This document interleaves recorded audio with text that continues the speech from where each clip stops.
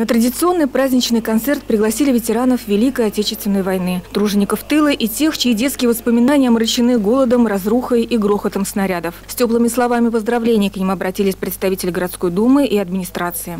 Мы должны помнить, и мы помним, всех наших соотечественников и всех, кто положил свою жизнь на защиту нашего Отечества – в 41-45 годах, тех, кто пережил войну, восстанавливал разрушенное городское, наше хозяйство нашей страны. Воспоминания о тех страшных событиях ветераны пронесли через всю жизнь. Сейчас в нашем городе живет 41 участник Великой Отечественной войны, 32 жителя блокадного Ленинграда, 23 человека еще детьми прошли через ужасы фашистского концлагеря. Всего из Сарова ушли на фронт 950 человек. Более половины из них не вернулись с полей сражений. Сегодня мы особо поздравляем и чествуем ветеранов.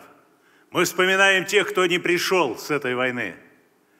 Мы преклоняемся перед ними и вспоминаем в словах памяти. Мы сегодня вспоминаем тех, кто пришел и не дожил до этих дней, но был счастлив, потому что произнес это слово «Победа».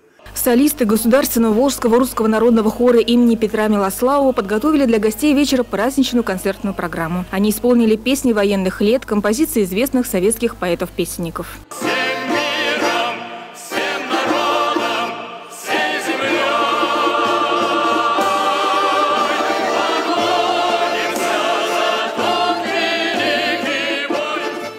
Отдельных аплодисментов удостоился участник ансамбля, который виртуозно исполнил на балалайке попури из известных композиций. Зрители узнавали любимые мелодии с первых аккордов.